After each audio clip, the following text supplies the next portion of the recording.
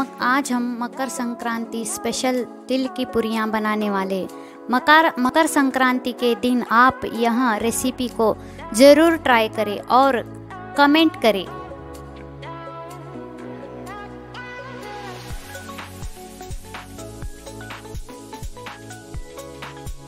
जय सदगुरु दोस्तों, मैं सोनाली स्वाद व्यंजनम में आप सभी का स्वागत है। आज हम मकर संक्रांति स्पेशल रेसिपी तिल की पुरियाँ बनाएँगे चलिए दोस्तों शुरू करते मैंने यहाँ पे डेढ़ कप गेहूँ का आटा बारीक छन्नी से चाल के लिया है थोड़ा सा नमक एक चम्मच बिना तेल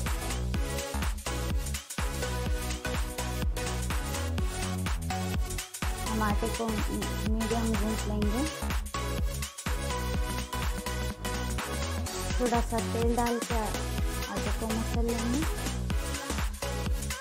हम आटे को रेस्ट में रख देंगे। तब तक हमारा तिल का मसाला तैयार कर लेंगे। मसाले के लिए मैंने यहाँ पे मिक्सिंग जार लिया है। जार में भुने हुए आधा कप मूंगफली डाल रही हूँ। एक कप भुने हुए तिल। अब हम इसे पीस लेंगे। ये तिल और मूंगफली बारीक हो गए। अब हम इसमें गुड़ डाल के फिर से पीस लेंगे। गुड़ को हम ज़रूरत के अनुसार डाल लेंगे।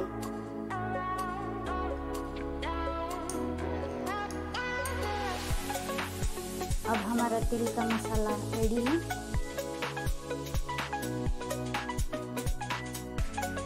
हम इसे एक बाउल में निकाल लेंगे। एक छोटा सा गोला ले लेंगे।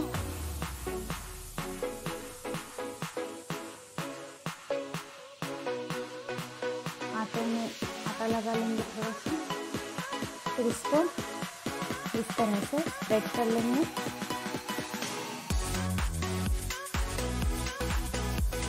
अब हम ये तिल का स्टफ़ इसमें भर लेंगे। जितना हमने गेहूँ का आटे का गोला लिया था, उतना ही भरना है हमको, तिल का मसाला भी। इस तरह से इसको पैक कर देना है।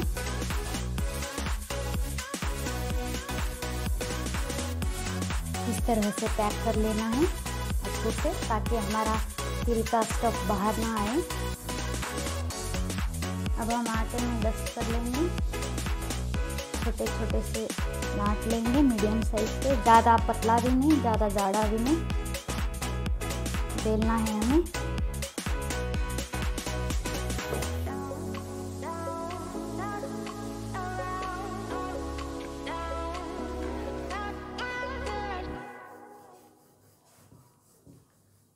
अब हम इसे सेक लेंगे। हमारा तवा भी गर्म है, थोड़ा सा। तेल डाल लेंगे बाद में डालने की ज़रूरत नहीं है। पहली बार ही डाल लें। तेल को थोड़ा सा स्प्रेड कर लेंगे। ताकि हमारा तेल का पूरी ना चिपके अब हम तेल की पूरी डाल लेंगे। दोनों तरफ़ से अच्छे से सेक लेंगे। मीडियम फ्लेम पे।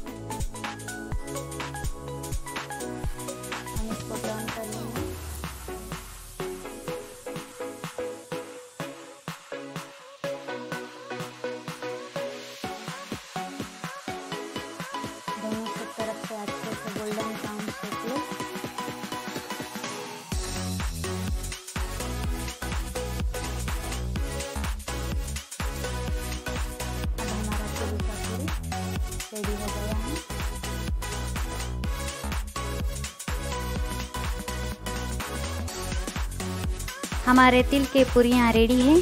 आप इसे दो से तीन दिन तक स्टोर करके तिल के पुरियाँ को एंजॉय करें।